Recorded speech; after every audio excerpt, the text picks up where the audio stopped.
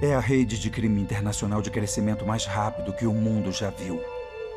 Já ultrapassou o comércio de armas ilegais e logo vai superar o tráfico de drogas. E quer saber por quê? Um pacote de pó só dá para vender uma vez. Mas uma criança é vendida dez vezes por dia. Os filhos de Deus não estão à venda.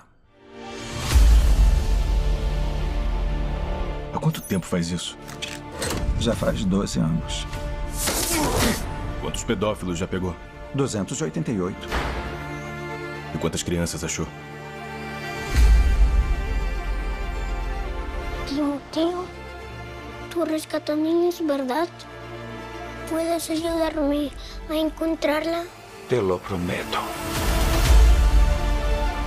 Somos da Segurança Nacional. Sabe que não podemos sair resgatando crianças hondurenhas na Colômbia. Quer dizer que ela vai desaparecer para sempre. Imagina a gente entrar no quarto dela agora e ver a cama vazia. O que a gente faria? Pede demissão e vai resgatar essas crianças. Nesse momento, ela pode estar a um quarteirão ou pode estar em Moscou, Bangkok, Los Angeles. É uma operadora. É tudo território rebelde. Ninguém entra. Nem o exército, nem a polícia, nem nós. E se fosse sua filha? Não tem ninguém para ajudar a gente. Estarão sozinhos. Esse trabalho está me despedaçando.